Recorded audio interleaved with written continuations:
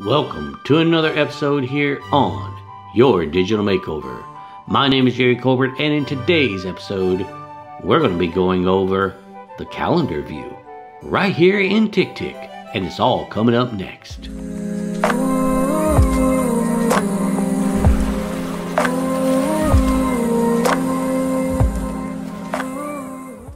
So, in today's episode, we're going to be going over the calendar view here in TickTick.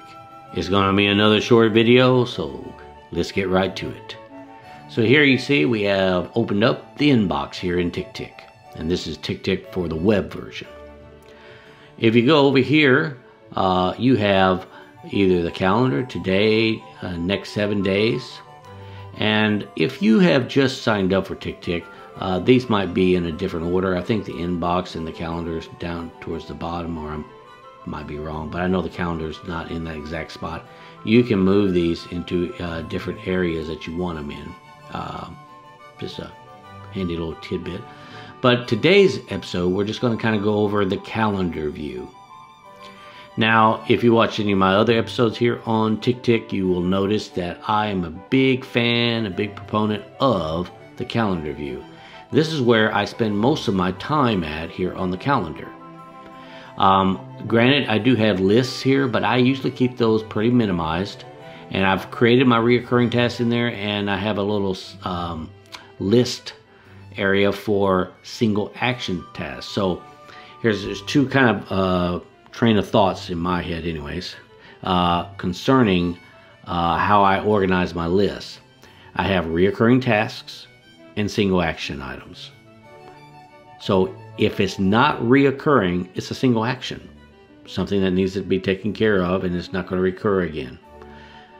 And that's usually where I put things in the in the list. So I usually keep that list pretty closed and I have everything date dated whenever I put it in to my inbox. I'll eventually date it and put it in one of those lists and then I can just continue to look at my calendar view to see what I have to do as far as my agenda for the day and when I have them uh, dated. Now, sometimes some of my tasks are reoccurring on a day or a date, but not necessarily a time. And so, if that's the case, when I'm doing my weekly review, I will see those tasks up here. Now right now you see some tasks up in this area that don't have no date on them, but these are habits that I'm testing the habit function.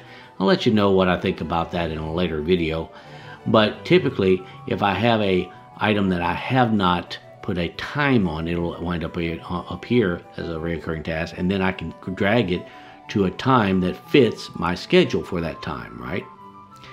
And so it's really, really handy to have the calendar view open all the time so you can know what you're going to be doing. Because maybe you have like 10, 15, 20 items. And if you don't have any idea of when you're going to do them, you'll wind up pretty much not doing hardly any of them and fast forward them to the next day. And then you'll get in a habit of fast forwarding them to the next day and you never get any of them done. And they just sit there. Sad, I know. That's what I found out. Or actually, that's what I found myself doing in Todoist. But I'm not I'm not doing it here. I'm you know like I say the calendar view is really helpful. Anyways, let's get back to the actual uh, tutorial here. So if you look here, I have it on the day view. I spend most of my time here on the day, but you also have the weekly view. And you have the monthly view, right? The weekly review is kind of useful if you want to uh, move things around. Um, to another um, block and you want to see what blocks or slots of time you have open so you can say, well, you know what, if I'm looking at tomorrow, Saturday, I don't really think I'll be able to do this one thing, so maybe I need to move it over to here and you can get a bird's eye view of where you need to move stuff to, right? And the monthly view, it's nice. I don't really spend very much time here in the monthly view, uh, but I do spend a lot of time in the daily view. And with the daily view, you can do all kinds of things with it. You can move stuff around like this. Um, you can, you know, like I say, pretty much do everything you need to do. You can click on it, see what your evening tasks are or evening routine is. Uh, you can fast forward it by clicking on that and just moving it to another day or what have you. Um, you can also click here and type, hey, I want to do something at 8 a.m., you know, whatever that might be, right? And voila, see, it's real done easily. You can right click on it, move it to the personal area. See, there's all kinds of different things you can do in the calendar, and believe it or not, I do a lot of my stuff here.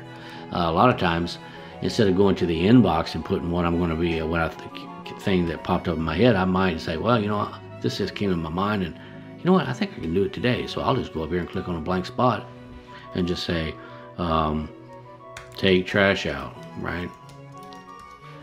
And I'll just put that up there, and then later on during the day, I see that up there. It's like, you know what, this one thing canceled or I got done with this thing quicker so now I'll go ahead and drag that down there and put it into that time slot right? And go ahead and take care of it.